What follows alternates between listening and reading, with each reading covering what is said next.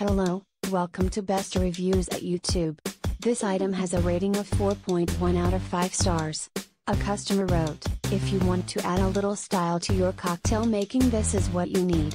I have used it for both Manhattans and Old Fashions and it is a joy to use. The glass is thick and weighty with the overall top diameter the perfect size to fit a Hawthorne strainer. Thank you for watching. Please give the thumbs up.